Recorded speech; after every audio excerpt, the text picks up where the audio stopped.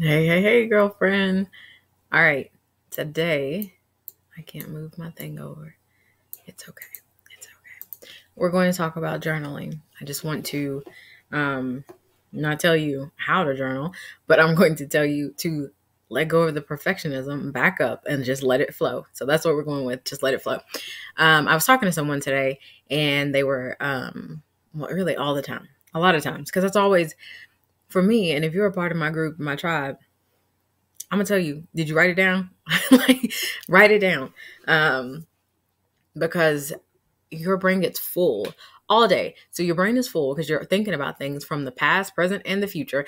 And you become you start to get these anxious feelings and then i notice that sometimes what people tell me is you know well whitney i don't want to journal because um i don't know how to and i'll usually like what do you mean you don't know how it's just like well it's not i don't do it right and I'm like, okay, well, again, you know, clarify what does that mean? And so what I've come to find out is that sometimes people have this expectation that journaling is supposed to be something pretty and perfect, and it's not. Um, I don't have a journal, a journal by me to show you, but it's not. If you look at my journal, sometimes they have it. It will have no they because I got a lot of them. Will have like two and three sentences on one page, and that was all I needed. and I dated it and I turned it. That's it. Um sometimes it won't be like written this way. It might be this way and if it's if it's one that i keep by the bed if it's one excuse me that i keep by the bed um it may even be like upside. It just depends on how i could grab it to write what i needed to write.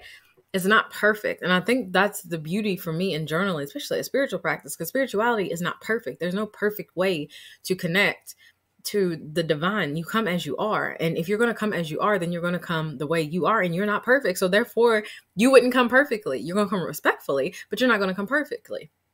So don't put all these don't put all this stigma or all these attachments. Yeah, don't put all these attachments to journaling. Um rules. Don't put all these rules to. Well, if I do it today, I got to do it tomorrow and tomorrow and tomorrow. No, you don't. I do recommend that if you do struggle with having a lot of thoughts in your head to do it before bed because sometimes those those thoughts could be you know like what am i going to do tomorrow? I got x y and z i got to do. I got to take the kids here or i got to make sure that i do my laundry. I got to make sure i got the food ready. Um somebody's calling me and they want me to do all this. There is do not go to sleep with that in your head. Put it in the journal write it all down and then don't worry about trying to figure it out get up early enough in the morning to figure it out but that's what you use that journal for because you're going to honor the thought by putting it on paper thank you you know, mind for letting me know that this is something that that um, I need to remember. Let me put it on paper. That's it.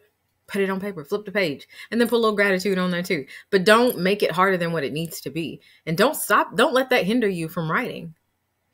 Don't let that hinder you from connecting. So don't be so harsh on yourself about journaling. Let it go. Uh, if you're I can't even say that. I can't even think of nothing like any reason why it would be perfect. This is not English class. This is not art. This is not, we're not in class. You're not in my class. And even if you are in my class, that's not how I I don't say, you know, well, how'd you write that? Um, how'd you write those feelings? Did you go across the line? Was that right? It doesn't have to be perfect. Let go of perfectionism. Let go. It's just a journal. It's a piece of paper that says, hey, I'll collect all your thoughts. And the brain is like, thank you, because I can't file all this shit because she got shit all over the place just flying around. You struggle during the day because of all the anxious thoughts. You struggle before you go to bed because all these thoughts that keep ruminating. Put them on paper so you can consciously pick up what you're thinking about. You need to face you. That's why I always say turn the mirror around. Quit trying to show other people what they're doing. Turn the mirror around. You need to face you and your thoughts. And then you need to have a good conversation with yourself of why are you even thinking those thoughts about yourself if it's something negative. But if it's something that you need to do, then you need to check in. Like, how's my routine? What's going on? if I'm worried about laundry instead of having a day when I can do laundry. You know, if it's a, a fluke and like, oh, I forgot, or something happened, you couldn't get to it, that's different. But if this is something that you know you do continually, then put it in a routine.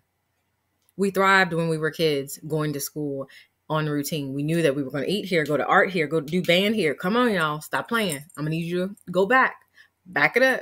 You know that's what we that's what we did and that's how we thrive. At least the millennials. We I think we was the last ones that got to truly like go outside and play and do things like that. But let it be simple. Let it be easy. All right.